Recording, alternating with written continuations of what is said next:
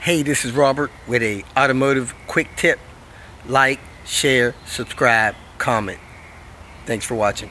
About halfway through 96, Volvo switched from the original hydraulic lifter there to this style of hydraulic lifter here. So these are the lifters that's going in this engine. These are all very hard to compress they move just a little bit.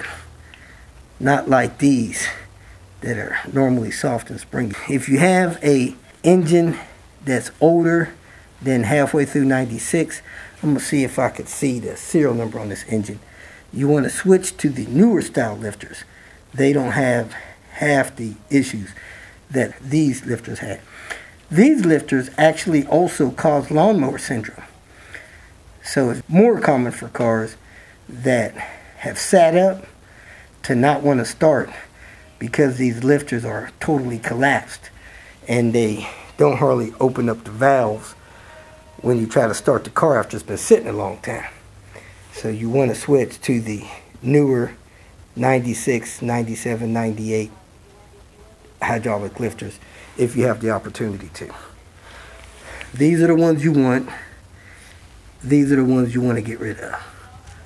If you feel that this information was useful, please like it and share it with your social media friends. You can subscribe to my channel so that you will get notifications of future videos that I post. You can follow me on Twitter, and if you need to contact me directly, please visit my website. And if you have any questions, leave them below, and someone or myself will reply to them. Again, thank you very much for watching.